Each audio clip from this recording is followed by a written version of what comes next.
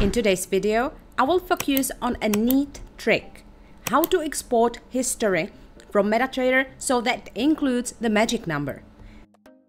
Since MetaTrader 5 does not do this by default, we have prepared a script that you can use to export this history and then import it into Quant Analyzer so that you can analyze individual strategies. Let's get started. I am on the Strategy Quant page in the documentation section and Quant Analyzer section. And this is the specific article. The first step is to download the script. So please download the zip file, then open it, unzip it, and copy the script directly to MetaTrader from where you want to export the history. Open MetaTrader, click on File, and then on Open Data folder. Open the MQL folder, Scripts, and paste the script here using Ctrl C and Ctrl V. After pasting, click on Refresh button and the script will appear here. Now the next step is dragging the script into the window. You can also select the range from which you want to export the history, but for the purposes of this video, I want to export the entire history, so I will simply click OK. The script has run and I will move to the data folder. I click on MQL and our file has been created here.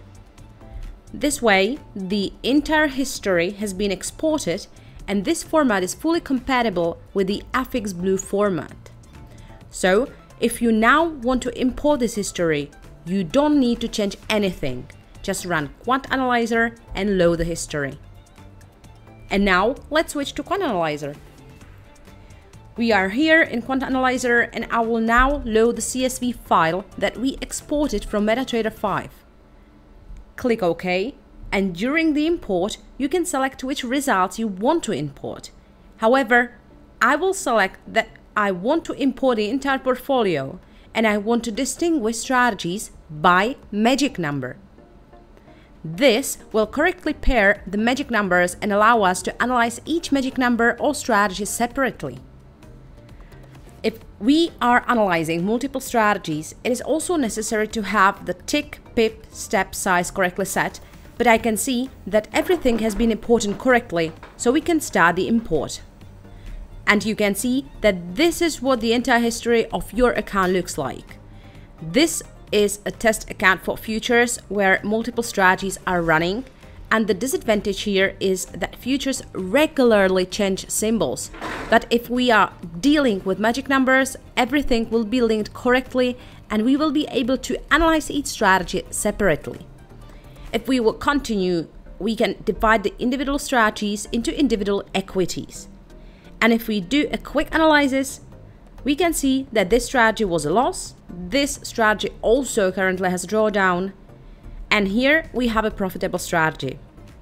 As you can see, it's not complicated at all.